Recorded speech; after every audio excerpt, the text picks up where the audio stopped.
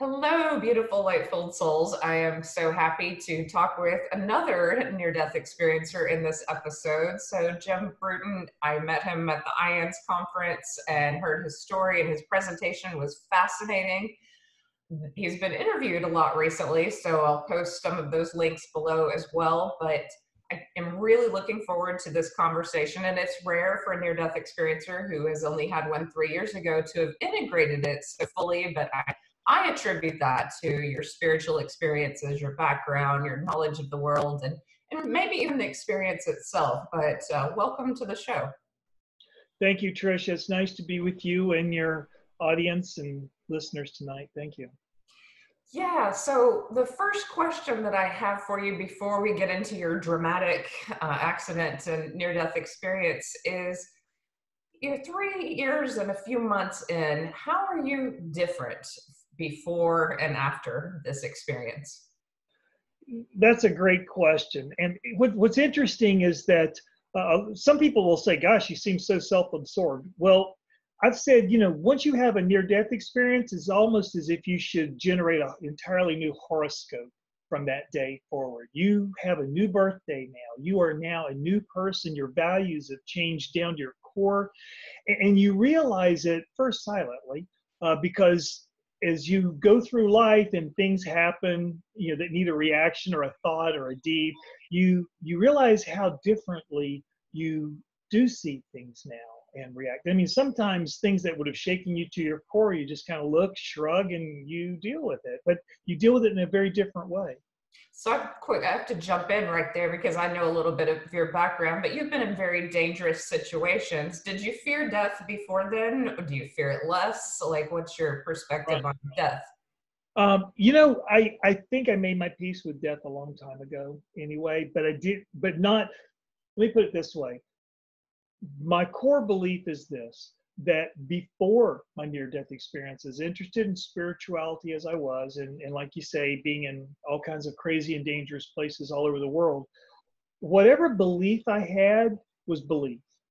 Now it's woven into the fabric of my being there's so much that I don't need to go back to and refer to some mystical book to quote something. It really just comes out of me naturally and in my own words. And I've seen this with so many others too. You know, when we were at that IANDS conference, it was the same thing. It was just amazing how it really becomes part of you. It's a knowing, so many of us say that if it's different from faith, it's this deep, integral knowing. Does that resonate with you? Absolutely. Even to the point that it sounds funny to say it until you explain it, and that's I don't pray anymore. Because how many prayers do we hear out there that are all about, please save me from some bad decision I made? Like, you know, don't let me get fired, don't let my wife catch me, or, you know, something like this, something crazy. But uh, once, once you've seen how things work, how, how God's plan just weaves things together and how it's um, basically there's like almost no wrong decision you can make. You just may take the scenic route instead of a more direct route, but you'll get there. Um, and, and so, like I said, uh, one other time, that if you were to say to God, "Hey, I want to be the head of the mafia. I like the cars, the women, the money, the power," you'd say, "Well, you'll see how that works out for you. You know, you can't row two boats at once, and when you're done, I'll still be here and you know we would all go and see how that works out for us probably not very well.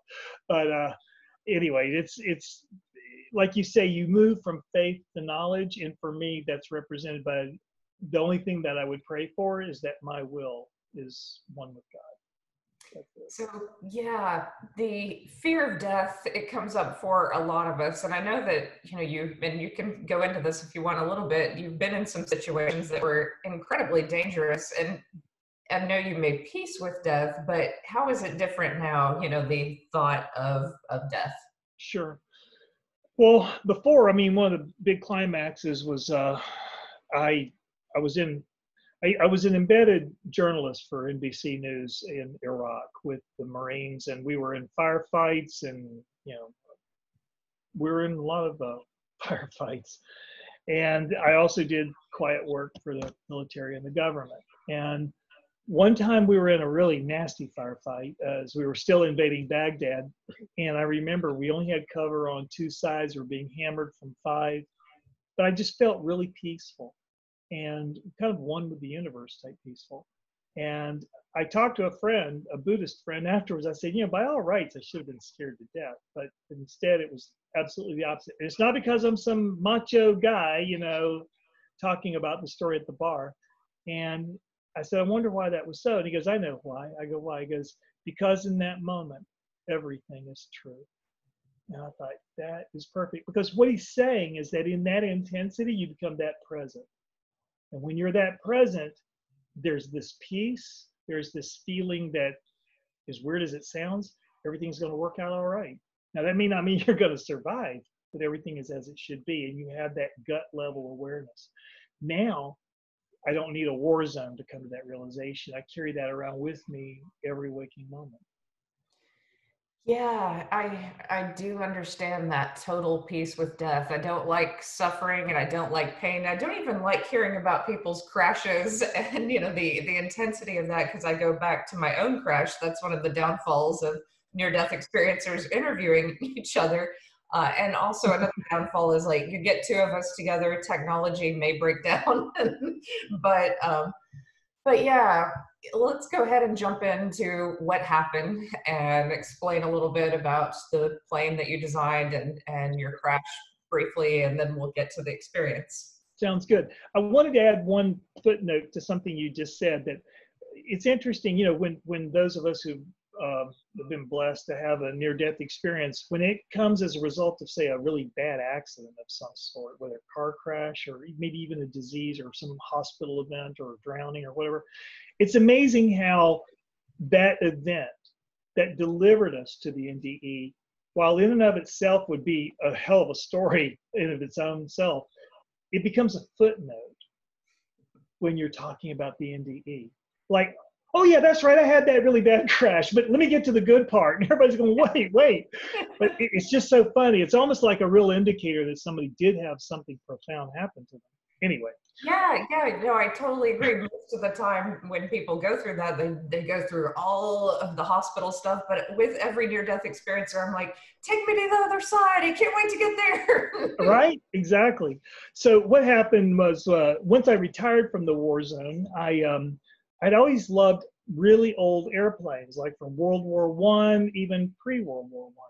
So uh, my brand new wife, uh, the reason I left the war zone, uh, said, you know, now that you're not traveling, why don't you build that plane you're always talking about? And I said, you know, you're right. And so I did. It was a reproduction 1917 Fokker triplane, just like the Red Baron flew, but I came up with my own paint scheme of black and white stripes. And built it very faithfully to the original design. And then I flew it for about 10 hours and sold it to an Air Force pilot. and then I thought, well, I want to build another plane. This plane was a, a, lot smaller, very whimsical in design. Looks like something out of a Disney cartoon called a Flying Flea because it's that small. Imagine a soapbox derby car uh, with a, a, wing above your head and a wing right behind your head, and then a BMW motorcycle engine right in front of you, face, right? So I first flew it in um, early October. It was the 3rd of 2016. And on my first test flight, I really didn't like the way it handled. So I thought, well, I'm going to sort of sleep on it a couple days, go back out and uh, master its quirks. So I went back out on October 6th, 2016. And somewhere in all this test flying, I lost my engine. I remember seeing it stop. And luckily, I don't panic, so I just worked on getting it going. But I was losing altitude quickly.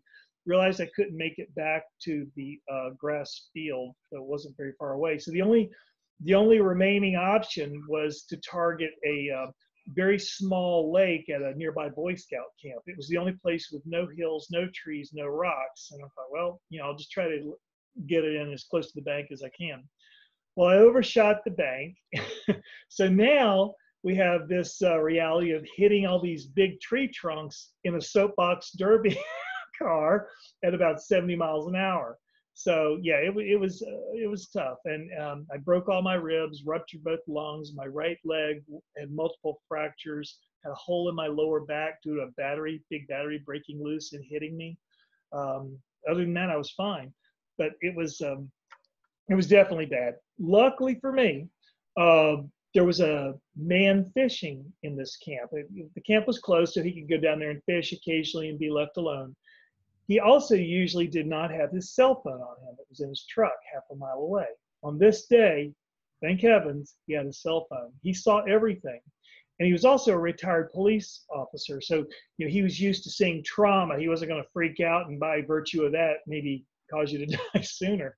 So he rushed over, he propped me up, he called 911. They flew a helicopter in and he kept me propped up so that I could try and breathe. And uh, anyway, the helicopter landed, they extracted me and took me up to Hartford, uh, Connecticut, Hartford's uh, trauma center.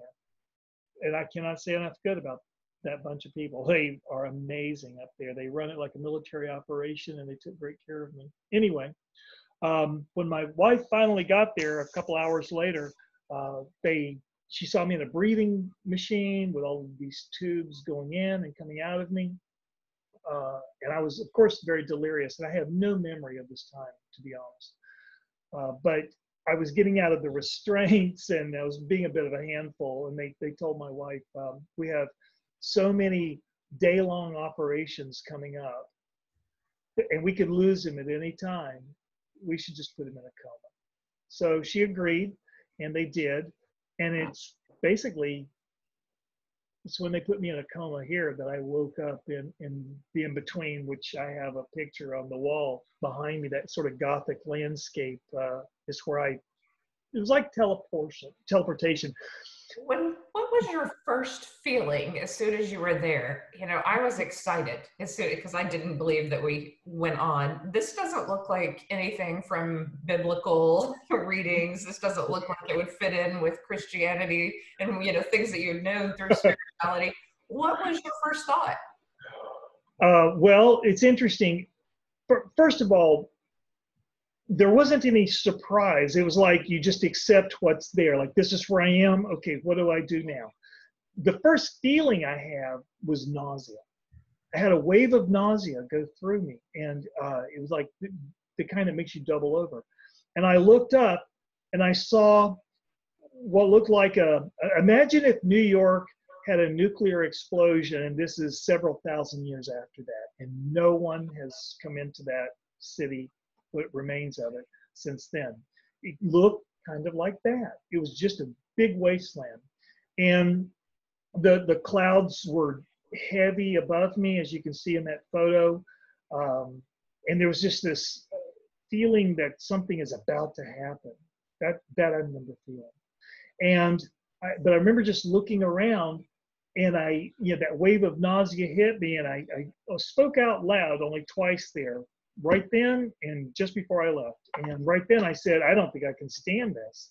And the minute I said that, I heard this noise of light, the light clacking of gears over to my left. And I looked over and I saw this lattice, like a sculpture of lattice shaped like an egg, maybe four stories high, about 40 or 50 feet high, off to my left.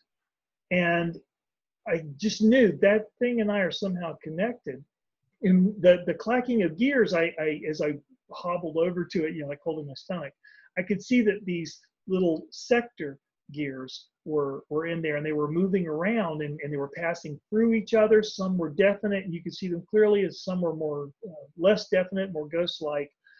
But each time I looked at one of these gears, it's as if a video feed played in my head of what that gear represented. And I looked at it, and that's when I said, "What? Where am I?" And this voice didn't see anyone, so it was like a you could say it was a disembodied voice, but it was obviously t- telepathic. Um, said, "You are in the in between," and I said, "You know, in between what?"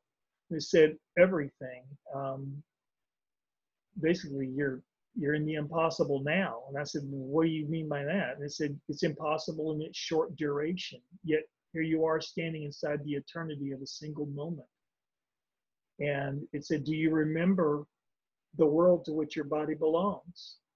And I definitely remember trying to remember, and I had no idea. If someone had come up and said, If you stay here any longer, you can't go back, I would have said, Go back where?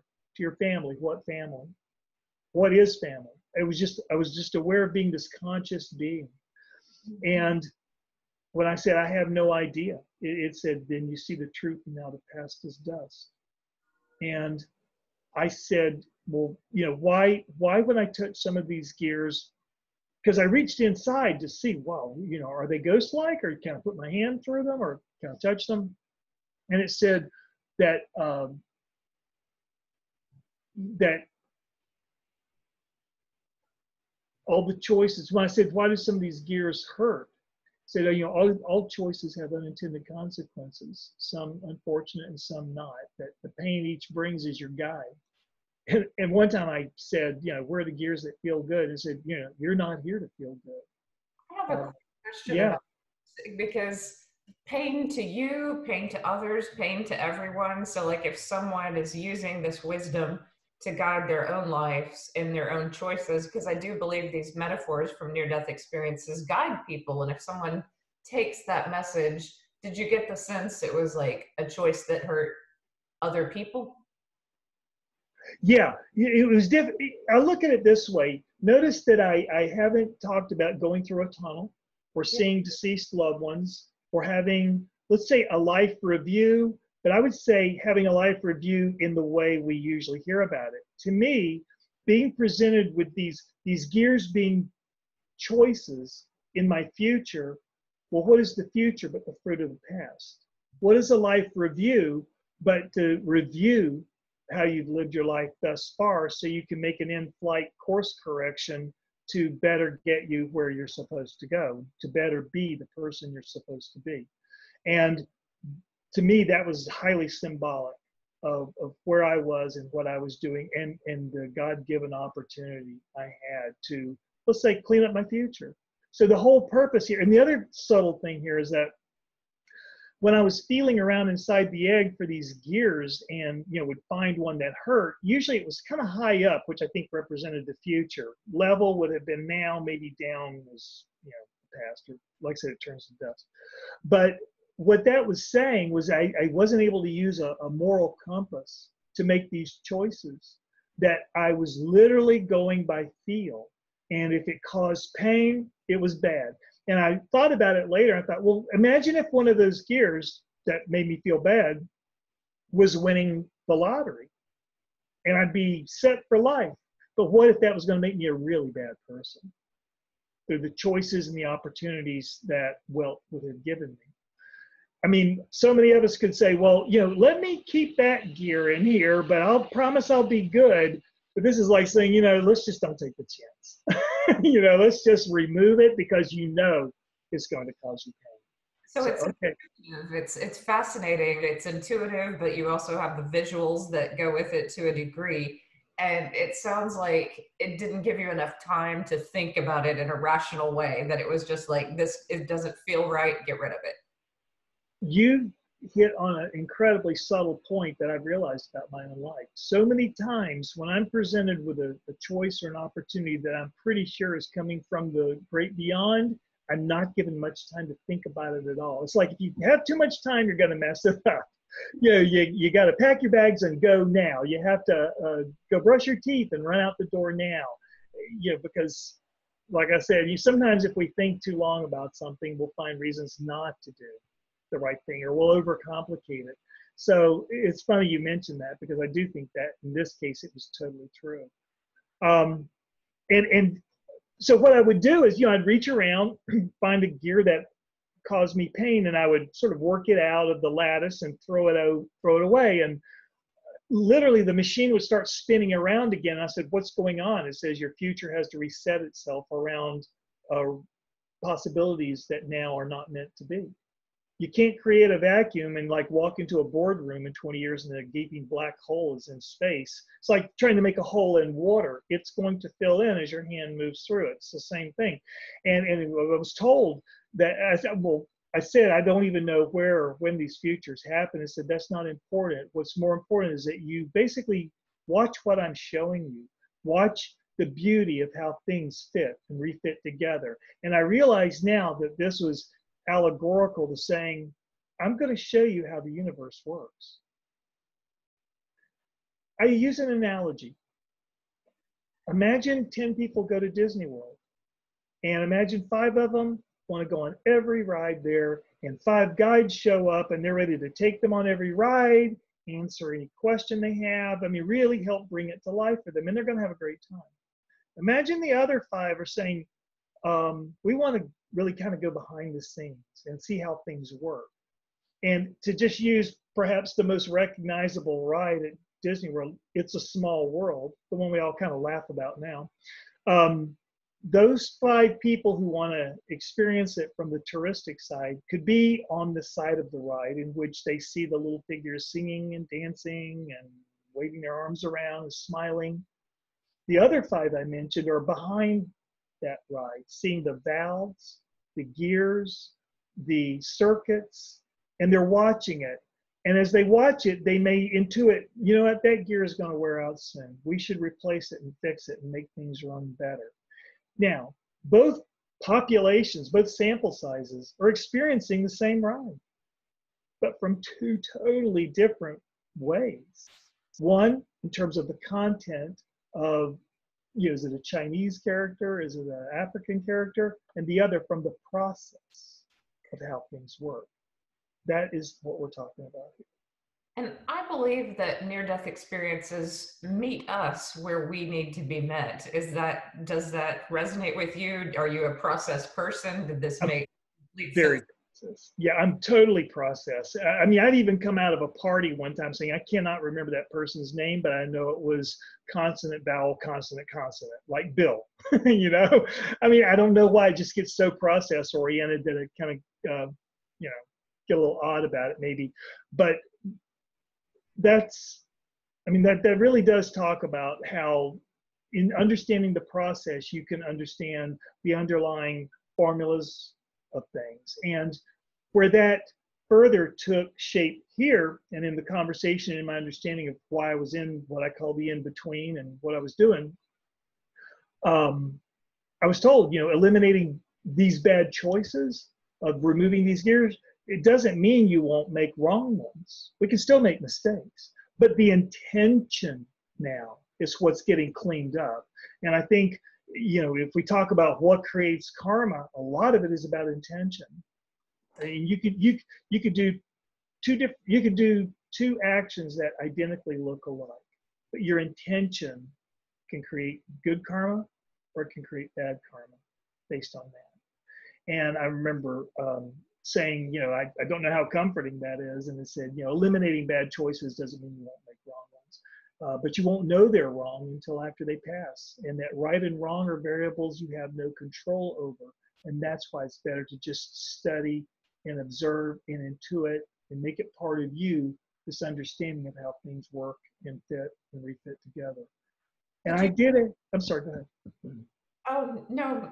Did you feel that when you were cleaning up these places that uh, it was in a sense changing you in a way the way you looked at the world the the way that you operate in the world not right away what i was aware of was i was becoming less nauseous makes sense right i'm removing these things that you know have this definite repercussion on me and i'm basically feeling the pain of potentially bad actions so that i can measure yeah they need to go um, so that's pretty much what I was focused on right then. And as soon as, as soon as I pulled out of gear, everything started spinning around again. It was just over and over and over for this week, or it was a week here, but like I say, it was like a split second there maybe.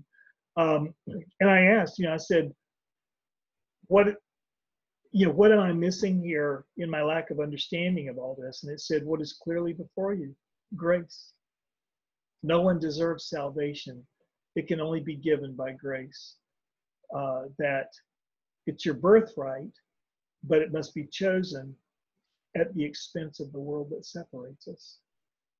And I said, you know, that again, when I was saying that I didn't know where any of this was going to occur in my life, and I was told it really doesn't matter. What's important is that you use this time to clean up your future. It said that removing your enthusiasm to further chain yourself to the world isn't as painful as carrying the crushing weight of those chains once they're forged around you. And I said, you know, it's like this place was designed in a way that I can't screw it up. I can do one thing and one thing only, and this is it. And literally, the in between said to me probably the most profound thing that's ever been said to me. It said, if those with choices make poor use of them, then offering fewer possibilities could be called mercy. Mm-hmm. And in a way, that's like that grace is almost like that unconditional love so many of us talk about. You know, you're met with a a grace that it is hard to wrap one's mind around, you know, that something is there for your benefit, basically, you know, to love you and to make you better. I mean, like, I mean, that's a lot of near death experiencers say that no matter what their experience is, they know that they are better for it. It's true, and you know, let, let's face it. You know, they say a word to the wise and a two by four for the wicked. Well, you know, I guess I need the two by four, right? Uh, but I figure, you know, God's swinging it. It's a relationship. I'm good, and I'm grateful as well. So I have no pro- I have no problem with it. The um, I remember though at, at some point it, it, it did say clearly it said um, you know as you go back um, pay more attention to your relationships and everything is interconnected. I remember so clearly those words too. And um, it said you know you can't change the past but you can make better choices in the future. And it said to be gentle with everyone as i'm gentle with you. And i said what's gentle about all this? And it said well you prayed for something for which being here is an answer and now the man who fell from the sky is not the same who flew into it and I literally said, I think I can live with this now. And to my best understanding, that's when I woke up back here. Wow. So there's a lot of deep wisdom, and it's probably going to take years, maybe the rest of your life to unpack all that, you know, because it will apply to your life situations going forward in numerous ways. And couldn't agree more. I'm just, yeah, it's, it's deeply profound. You know what's interesting too is you know as you as you go in and, and read you know in comparative religion you, wherever you go to find meaning whether it's you know in quantum physics or you know the Tao Te Ching or something like that um, it's interesting how some of the greatest truths are said with a hint of ambiguity and I think it's designed that way because it makes you stretch, makes you reach.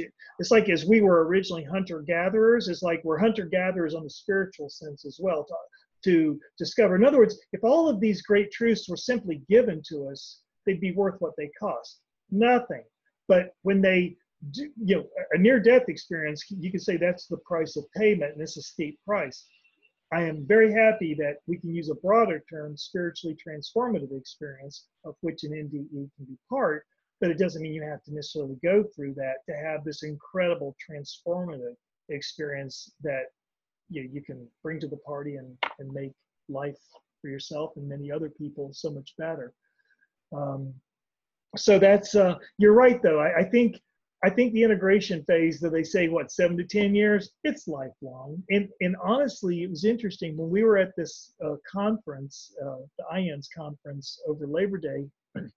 I've never been to a conference where as you walk up to a conference room and it's emptying out of the uh, previous attendees, you're all looking at each other and you're all strangers. Yet there's this hint of recognition in each other's eyes. And next thing you know, the couches are all full in the lobby of the convention center. People who've never met before are suddenly talking as if they're long lost friends, sharing intimate details of their lives. And if you listen, it really is about continuing to work through that integration, whether it's in their relationships uh, at home, or the relationships at work, or wherever, uh, or the relationships with God. I mean, it's a continual unfolding. It's a continual exploration because every day is a new surprise, and you know some. And it's amazing how many times it's guided by synchronicities, which seem to become more of a norm than an exception after a spiritually transformative experience. Yes, and it's like you start a conversation mid conversation. You just walk up to someone and you're like, "Oh, you you talk to the spirits too," and then you're off. yeah, like and, and whatever it is, it's almost as if it's been ongoing for some time. It's so true. I mean, you can almost finish each other's sentences. And here's the other interesting thing to me is that um, while we do have a lot of near-death experiences that have similar hallmarks, again, like the tunnel, uh, seeing deceased who are loved ones, you know, our grandmother, grandfather, whoever, dog even, uh, to see or meet angelic or what we perceive to be holy beings, and then the, the life review.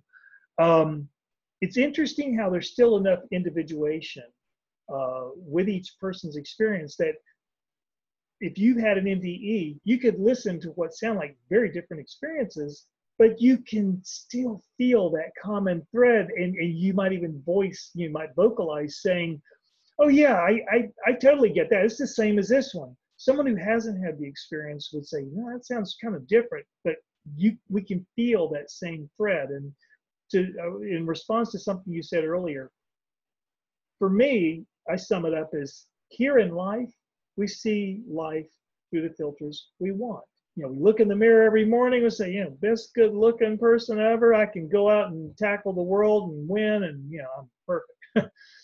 but on the other side, we see life through the filters we need.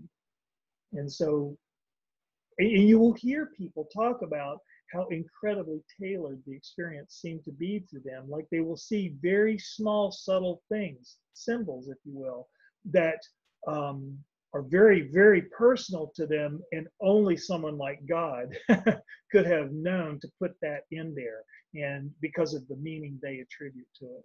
So that's kind of interesting. yeah, and as I was listening to your experience, you know, it's very different from mine. Um, mine I feel like is at times the classic one, you know, in that sense that I saw ancestors, I had the tunnel, I met angel, you know, like all of those classic moments. But what did I learn?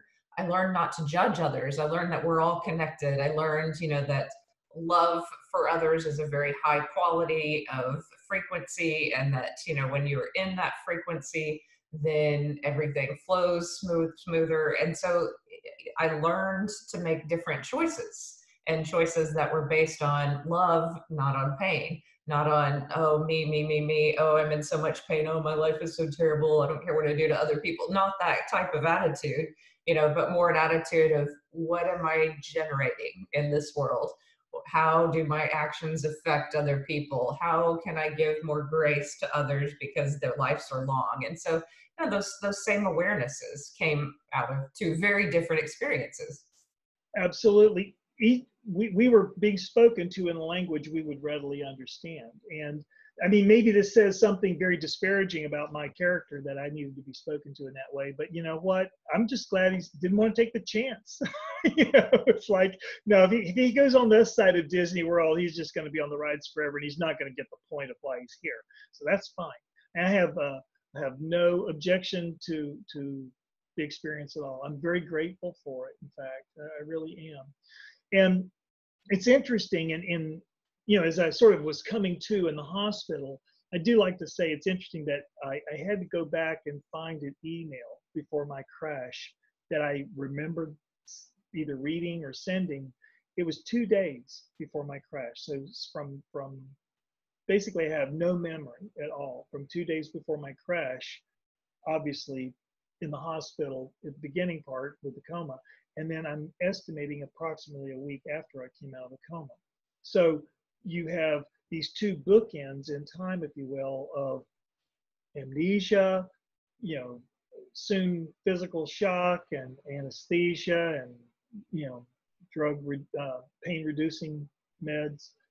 But between those two, you have this amazing uh, clarity, um, cognitive ability, maybe, you know, transcendent thought. I don't know, but certainly a transcendent experience. But to be able to remember it in such detail, and I find that interesting. But as I came to in the hospital, it was interesting.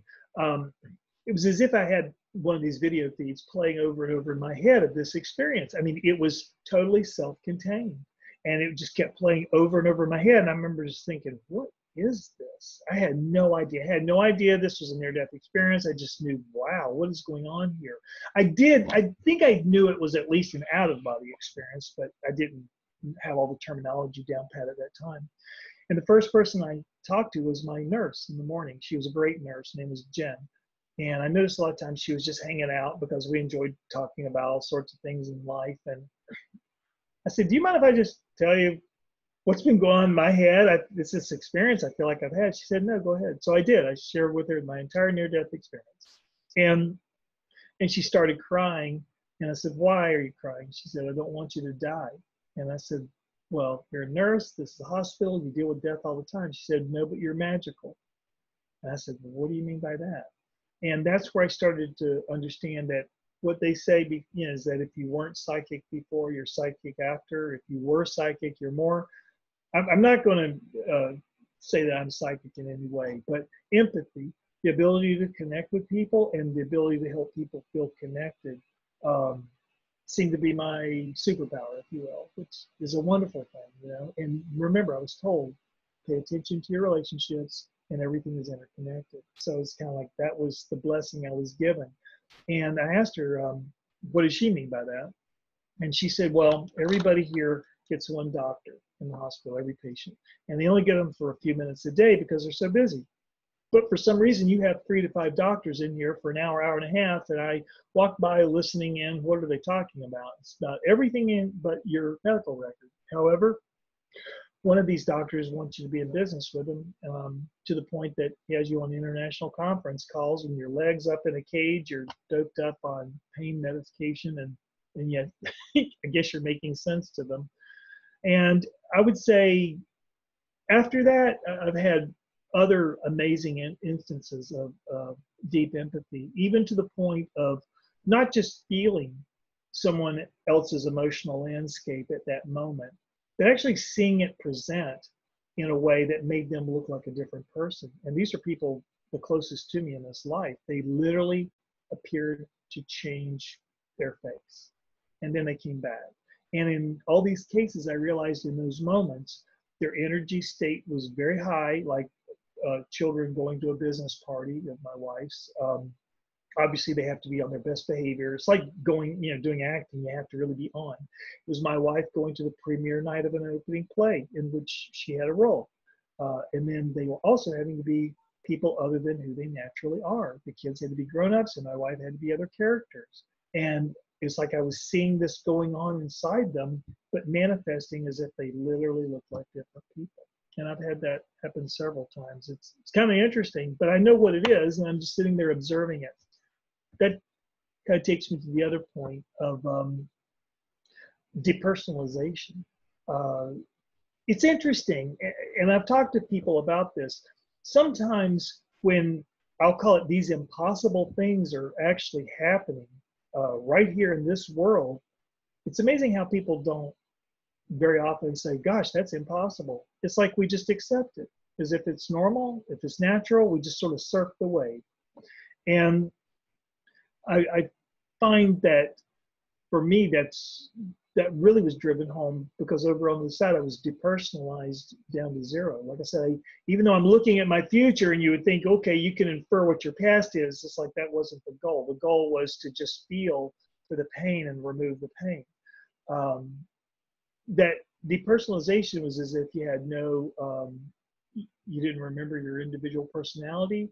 It's like it would be so risky to say you had no ego, so I won't say that. But it's not like you had any attachment to anything. Um, it was just amazing, and like I said, you know, when you have the sine wave of joy, sorrow, joy, sorrow, you know, pursuing joy or trying to avoid sorrow, it's like instead being that main axis of acquiescence that flows in between, which neither pursues joy nor avoids sorrow. It simply accepts what comes, and that's been a, a huge adjustment.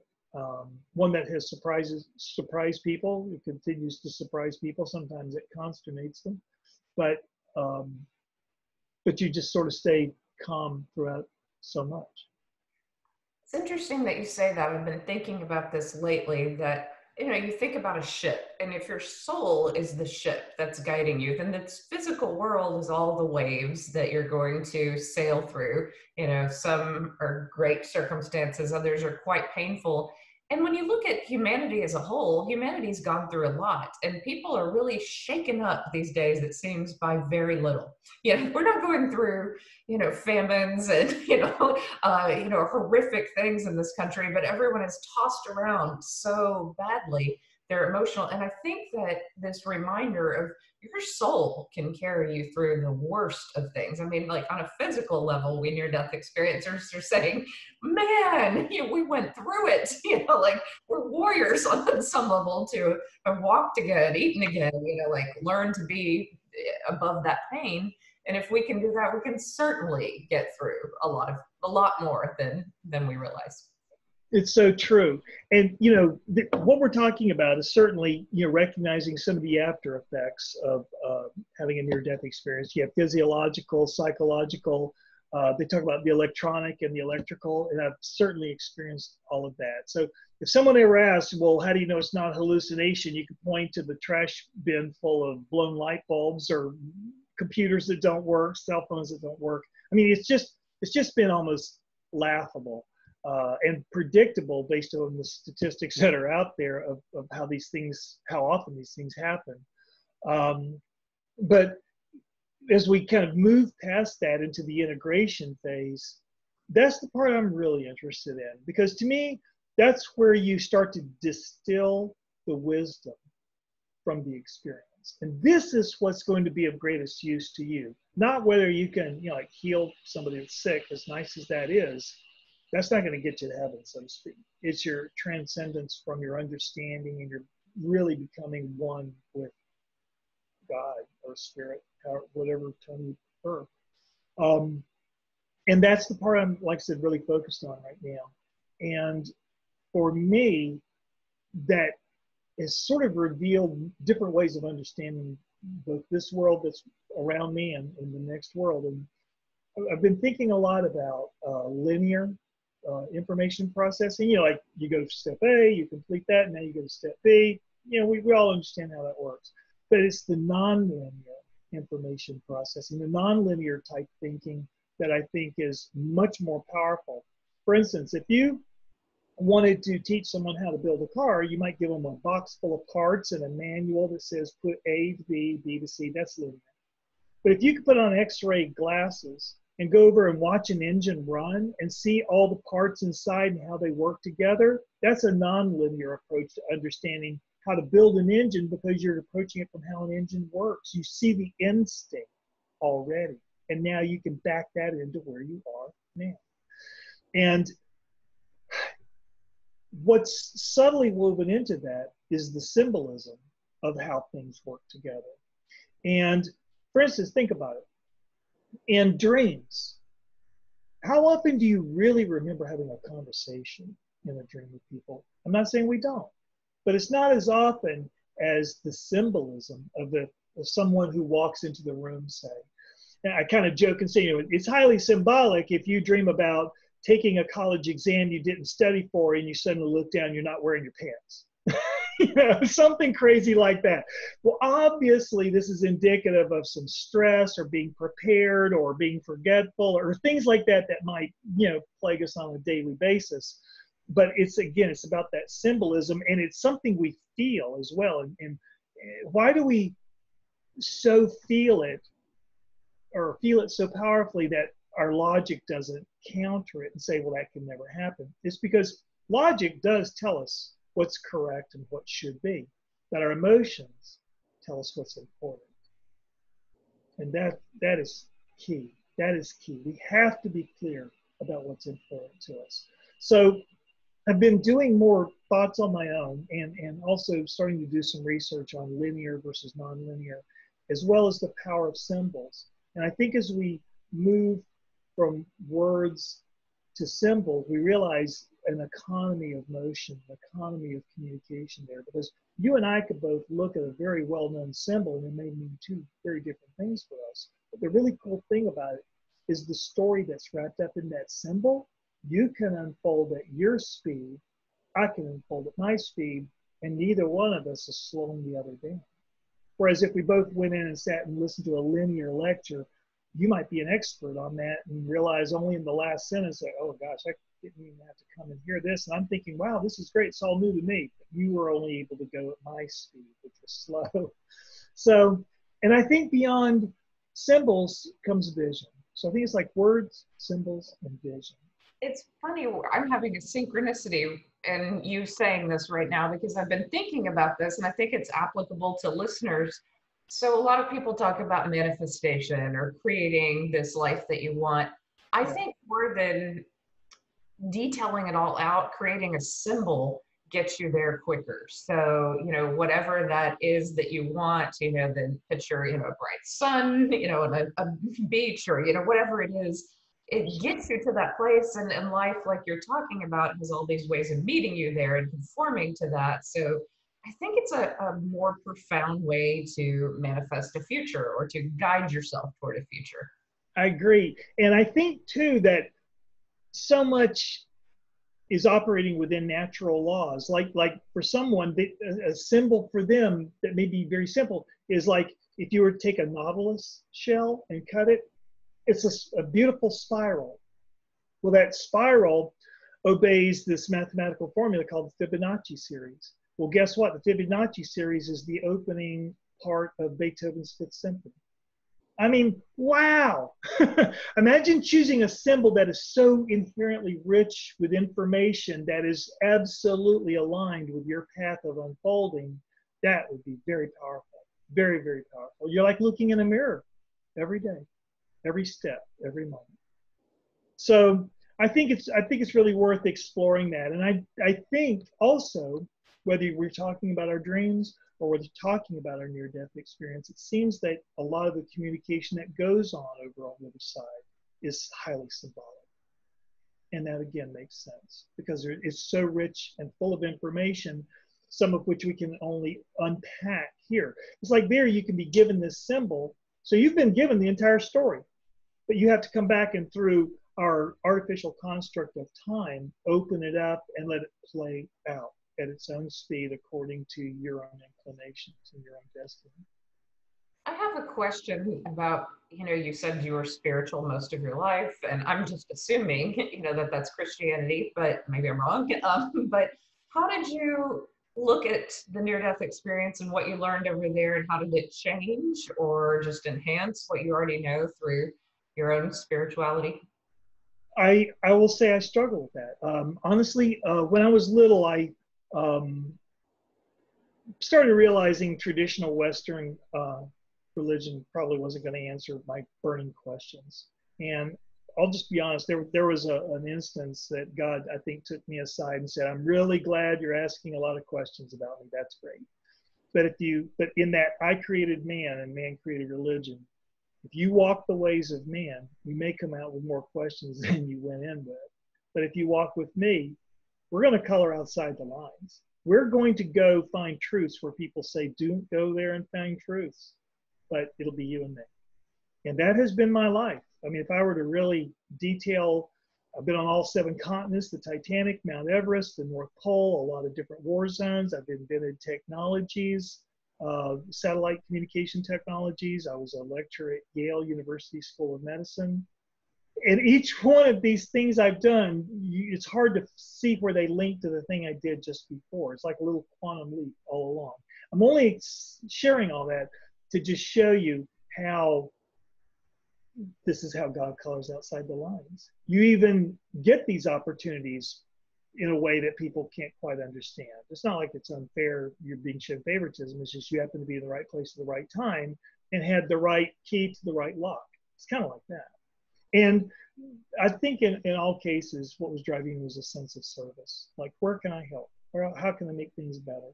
And like I said, the behind the scenes at Disney World, wanting to make its a small world work better. Um, but so, oh gosh, over 20 years ago, uh, about 25 years ago, I found an Eastern path that really worked well for me. And on the day, I had to make 20, I had to wait 20 years before they would let me in.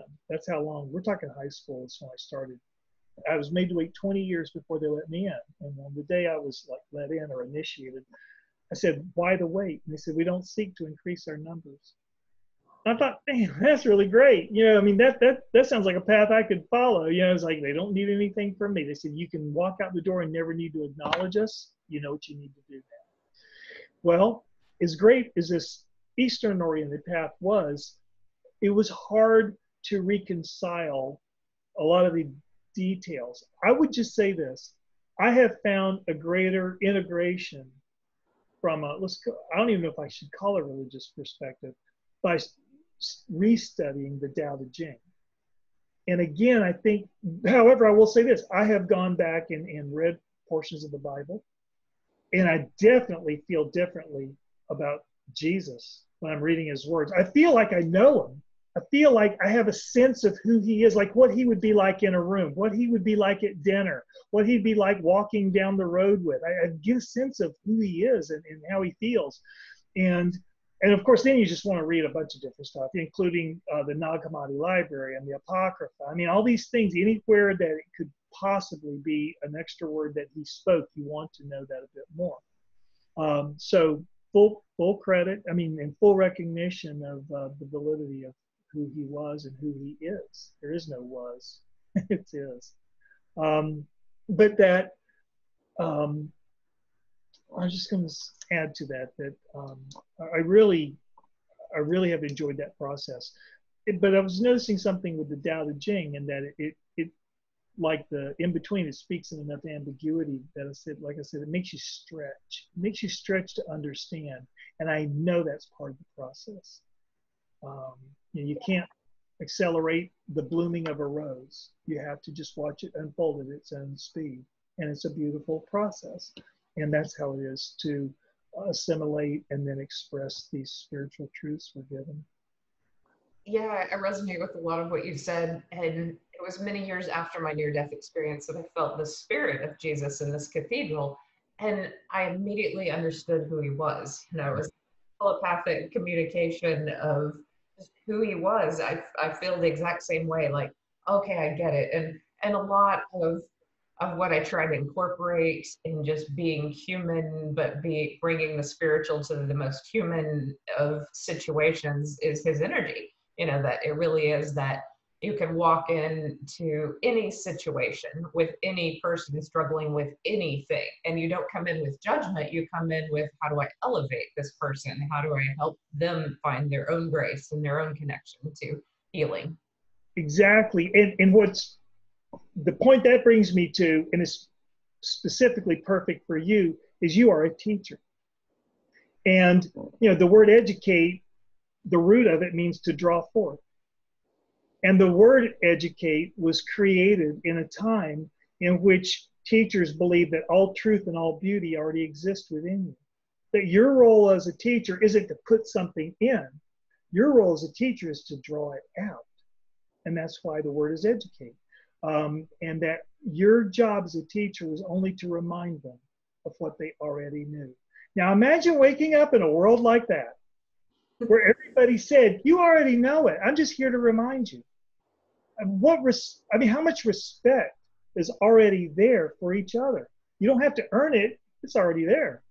I really like that concept, and so when when I talk to people, I, I always try to talk to what I perceive to be the highest potential in that person meaning you're you're through nuance through your body language through the choice of words you use it becomes subtly subtly obvious if you will uh, to them that you're you're calling out the highest that you're talking to them with high expectations and you know for some people for another person to talk to them in terms of their highest potential and to expect the best from them they may walk away that day saying, This is the only person who's ever believed in me.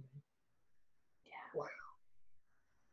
And that's it. And they may never see you again, and you may never see them again, but you will have lifted them up. And they will start to maybe see this higher sense of self, and they'll start to live according to it.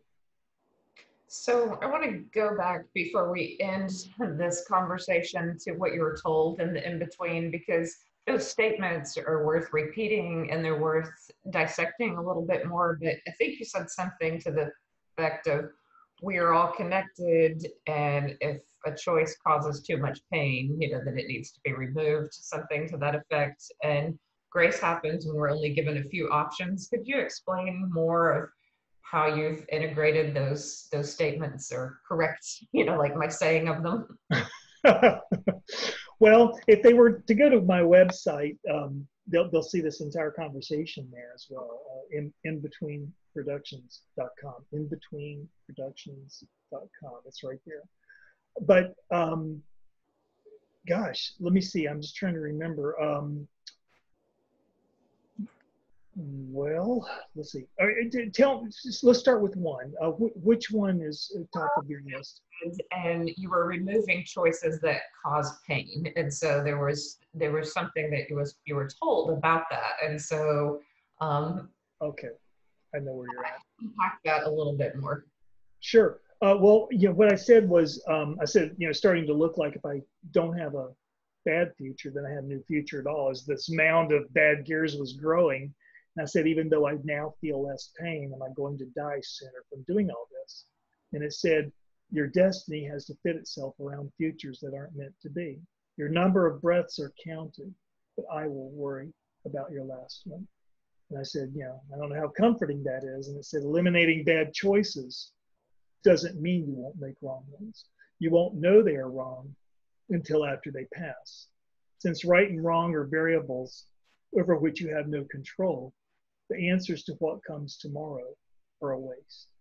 Better is understanding the beauty of how everything fits and refits together. And that's when I said, So what am I missing here in my lack of understanding? And I said, What is clearly before you? Grace. No one deserves salvation. It can only be given by grace. It is your birthright, but must be chosen at the expense of the world that separates us. Is that touching on? Yeah, so that that idea of so when I felt the grace and the salvation in my experience, I was kind of shocked by it. You know, like, oh wow. But I didn't feel like I chose it in any way. I felt like it was just bestowed on me and maybe I didn't even deserve it, or perhaps the people around me would have thought I didn't deserve it. Um, but then looking back, I'm like, why wouldn't I be given that grace? I was just a 22 year old kid who was trying to the horse. And see, yeah, it was your birthright. It, it is all of our birthrights. Uh, but again, you know, some of us may need to work a little harder to to see that. And and like you said, you know, being here is an answer to a prayer. And at some point in the soul's midnight, we have cried out and called God's name. And in the sincerity of that pain of separation, He called back our name. On that day, you're going home. it's that simple. And you you may wonder what how did this happen? Well, because you called. That's all I got. Interesting. So you feel like the near death experience that you had was part of your soul's destiny and cry? I do. In fact, I have wondered for, you know, if we look at a lot of the near death experiences that are out there, and if we broaden it out a little bit and look at the lives everyone has lived who had a near death experience, I'm certain that looking at it from the outside, it might look like a random event. Like, wow, that, that was random, and you know, you had this quantum leap, and it's great after the fact. It's great you had it because you're so much a better person. But I really do wonder if we could see it from inside, their inner journey. I wonder if it would simply look like the next most natural step in their internal, personal, spiritual evolution. And I bet, I would say that's true in my case. And I would wonder for how many others who could maybe think introspectively, they might also agree. Yeah, yeah. Well, I know over time I've come to accept that it was part of my fate. That I mean, my soul knew months beforehand that I was either going to die or, you know, I just thought I was going to die. You know, like I was pretty certain that that was my fate. And I even saw my tombstone read, you know, like dying at this age, because that's the only concept I had around death is like, you're done. I didn't really, I mean, I'd heard of near death experiences, but I didn't think that that's what was coming and for me. And so it was a moment of grace, but it was a deep understanding of how to live differently and how to involve myself in the world differently. And yeah, so it, I do understand that. But fascinating talking with you. I'm glad we had this conversation. Thank you, Tricia. I've thoroughly enjoyed it. I always enjoy talking about this and sharing it. And uh, it's great to see you again after the conference. Yes, yes. And you'll be in uh, Raleigh, Durham this next weekend?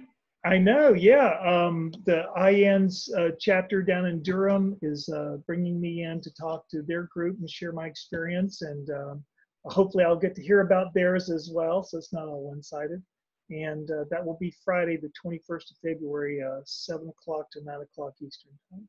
Awesome. And I will be in Tucson on, uh, for those of you who are watching, might be in that area on Friday the 13th of March, and then uh, Phoenix the next day. But yeah, we, we near death experiencers, we get around sometimes telling these stories.